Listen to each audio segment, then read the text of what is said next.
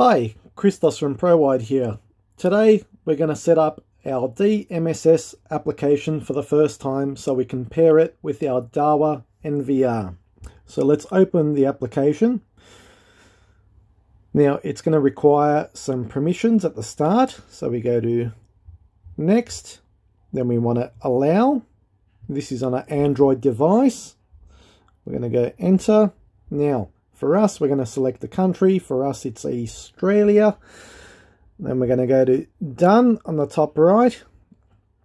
We're going to skip this video. Now, here we are at the basic home screen.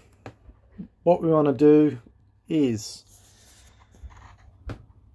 we want to go over here to the plus sign on the top right. Then we're going to go to SN scan.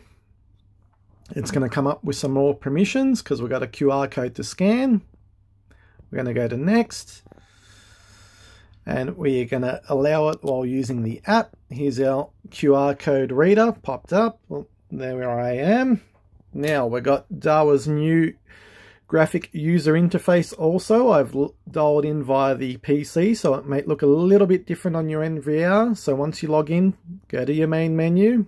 Then it's as simple as going up here on the top right, left click there. Oh, it's already got the, the uh, serial number, just that quick. So what we want to do is once we've scanned the serial number, we're going to go to next. It's a NVR. Now give it a device name. Let's call it home cam. Now, by default, it is going to be a admin account. For demo purposes, we are going, we have created a pro wired account, so please leave this as admin. Now what you want to do is enter your password. Our generic password is just admin. One, two, three. Now we're going to go up to the top left here after we've entered our password and go to save.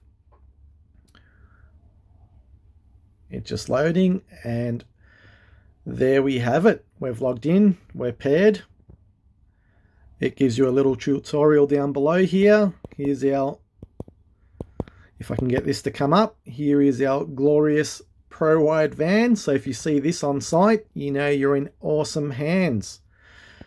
Thank you for watching and please scroll through our other videos down below if you want to get into the tripwire alerts and the SMD alerts and follow the links to our website if you'd like to book in for our services. Thank you.